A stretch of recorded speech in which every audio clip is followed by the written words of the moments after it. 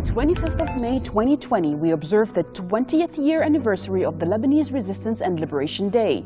Two full decades have passed since the victory that baffled the Western world. A 22-year military occupation was actively uprooted and expelled. The balance of global power was disturbed. This tilting of the scales took time. It cost many lives.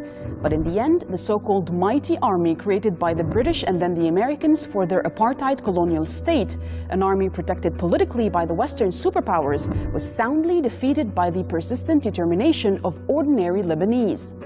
These ordinary Lebanese were bound by their commitment to protect their homes and their families, their faith and their dignity.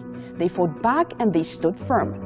While the Western Israeli alliance wanted to believe that they could intimidate and tyrannize the Lebanese into submission, they discovered that the more they pushed, the more the Lebanese resisted. The resistance of Hezbollah would not relent.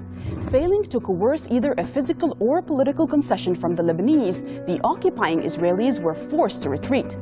Beginning on the 21st of May 2000, as families returned to southern Lebanon on the heels of the existing Israeli troops, members of the resistance ensured the peaceful nature of the transition. And herein lies the greater significance of this accomplishment.